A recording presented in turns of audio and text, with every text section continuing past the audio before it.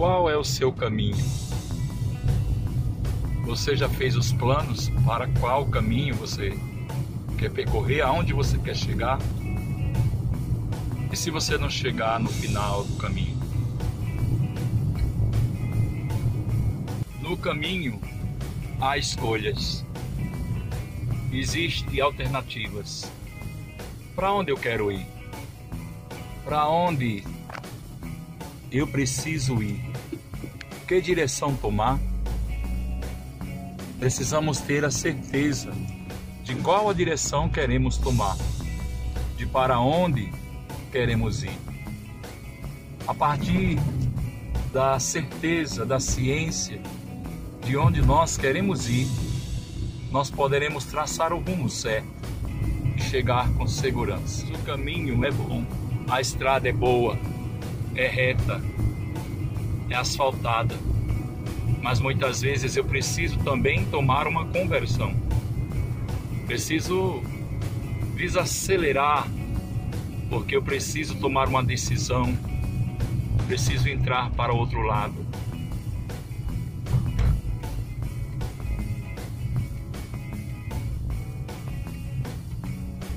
Ao entrar para o outro lado, às vezes a estrada não é tão boa,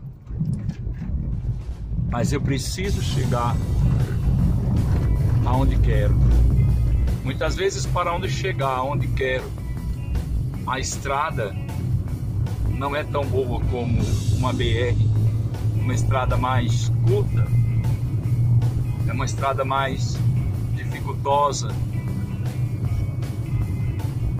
Às vezes precisamos tomar um atalho, e às vezes não é atalho, é uma necessidade de trafegar por essa estrada.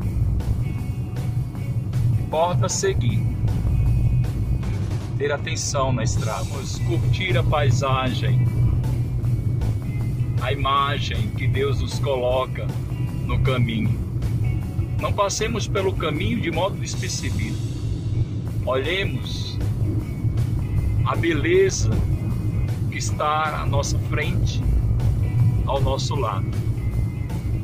Muitas vezes precisamos entrar em outro caminho a estrada termina, começa um novo caminho, um caminho de mais dificuldade.